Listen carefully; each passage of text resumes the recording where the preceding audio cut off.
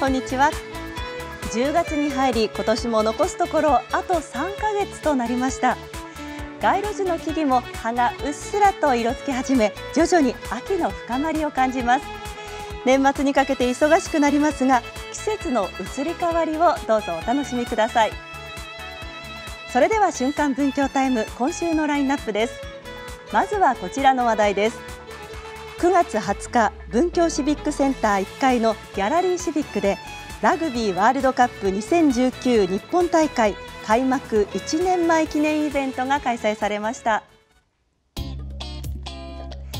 2019年9月20日調布市にある東京スタジアムでの日本対ロシア戦で開幕するラグビーワールドカップ日本大会。今回はその1年前を記念してパネル展示や講演会が行われました。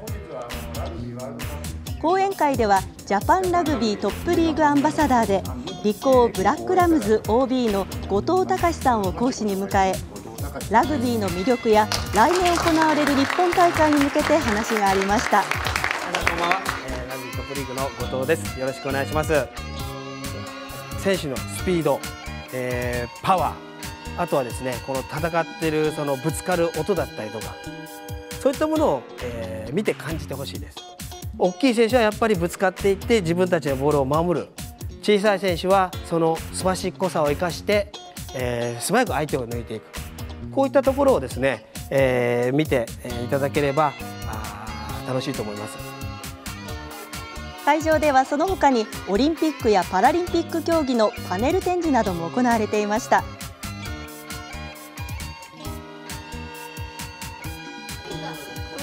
またフォトスポットも用意され訪れた方たちは記念写真を撮ったりしてラグビーの魅力や楽しさに触れていました。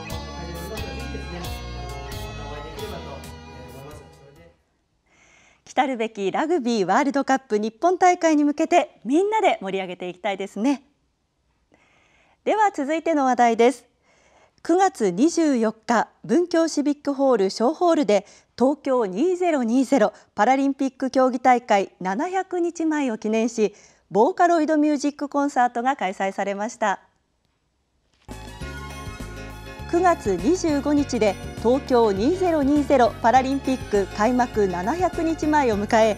会場前には東京2020オリンピック・パラリンピックフラッグツアーのフラッグが展示されていました。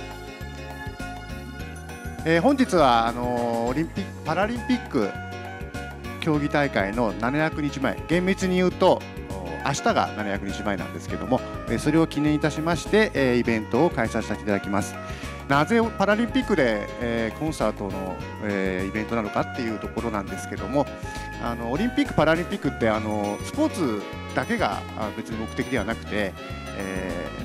開催国の文化の発信っていうのもとても重要なあ役割の一つとなってます。えー、ボーカロイドはまさに今日本で一番最先端で進化し続けている文化だということで、えー、今回こういう企画をさせていただきました。あのスポーツ文化それぞれで、えー、盛り上がって2020年を迎えていきたいと思っていますのでよろしくお願いいたします。ボーカロイドミュージックとは人間の音声を人工的に作り出す音声合成技術により作られた音楽のこと。音美子の皆さんによる演奏でスポーツでおなじみの楽曲から日本で生まれ進化をし続けるボカロミュージックの響きを会場全体で楽しみました。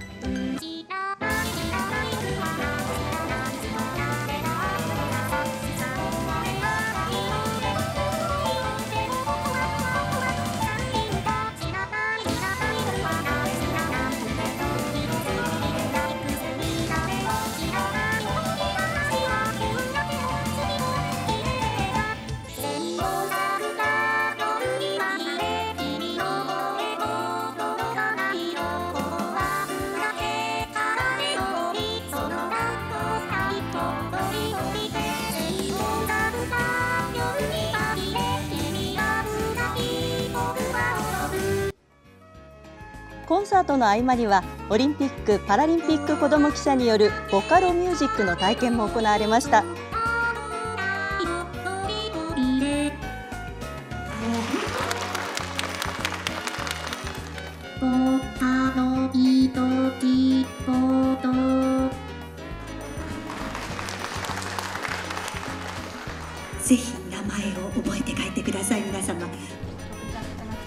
またコンサート終了後には子ども記者たちが音美子の皆さんへ取材する姿も見られました。楽しい。ボーカルを始めたきっかけって何ですか？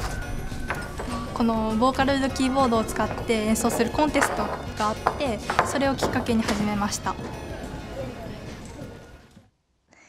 今回子ども記者たちが取材した内容は12月末に発刊予定のオリンピック・パラリンピック子ども新聞第5号に掲載される予定です。そちらも楽しみにしていてください。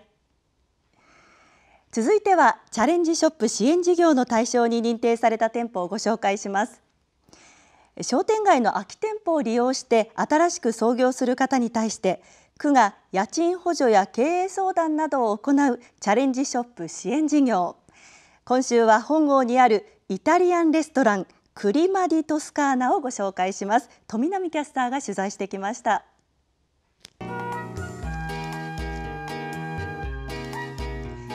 看板のない隠れ家レストランクリマディトスカーナ。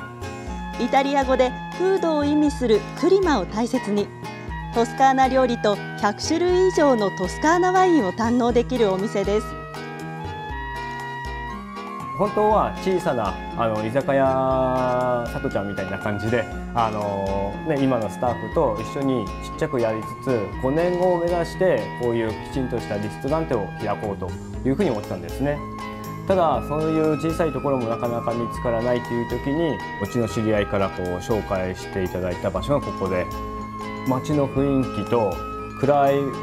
道の中にぽやんとこのね、クスノキとこのレストランだけが光っているというその情景がもう一瞬で恋に落ちまして。じゃあ5年後に勝負するんじゃなくてこれは運命だ。今しかないっていうふうに思って固定費が高いとかね、あのー、最初の資金あの投資費が高いと後々大変だというのも知ってましたけれども、えー、そこをあえて突入したというのがこの物件ですね。はい。なのでチャレンジショップがなかったら本当にもっと厳しい状況だったと思いますしできなかったと思いますし。旬の食材を提供したいという佐藤さん。メニューに合わせて食材を仕入れるのではなくその日に仕入れた食材でメニューを柔軟にアレンジしていくのでその日にしか味わえない料理に出会えます。このカペレッティというのは本当に素朴というかシンプルなのに力強くっていうパスタで季節感を出すっていうのはやっぱりその周りのソースで出していこうかなという風なパスタなんですね。やっぱり今どんどん香り強く美味しくなっているポルチーニだけですよね。それをあのしっかりとした濃い味の熟成豚というもので作ったサルシッチャですね。それと合わせていったあの秋の濃い味地味深い味として今日は出させていただきました。いただきます。